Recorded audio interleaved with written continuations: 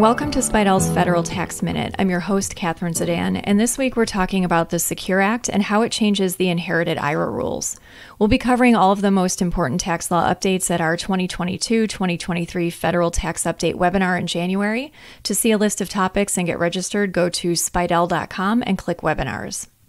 The Secure Act was passed into law on December 20th, 2019, and it contained numerous retirement account changes. One of the most prominent was that it fundamentally altered the rules for inherited retirement accounts by eliminating the stretch IRA provisions for most non spousal beneficiaries. In early 2022, the IRS issued proposed regulations that focus mainly on the new rule changes for required minimum distributions, or RMDs, and inherited account provisions made by the Secure Act. The proposed RMD regulations have raised concerns in the tax community, mostly due to the provisions that require annual distributions from some inherited accounts. The proposed regulations contradict the plain language of the Secure Act, which gives most beneficiaries 10 years to distribute the funds from these inherited accounts. Also, the proposed regulations apply to accounts inherited after December 31st, 2019.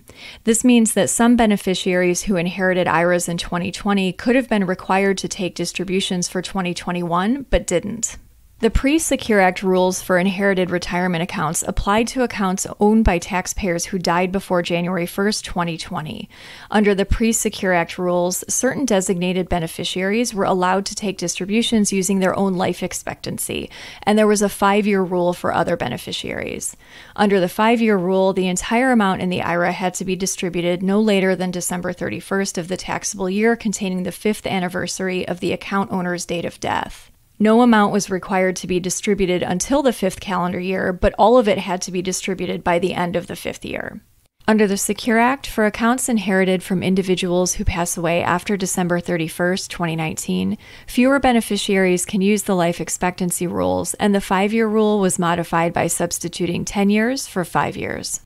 Most practitioners interpreted this to mean that beneficiaries of defined contribution plans, including IRAs and some government plans, have to distribute the entirety of their inherited account by December 31st of the taxable year containing the 10th anniversary of the account owner's date of death, unless the beneficiary is an eligible designated beneficiary.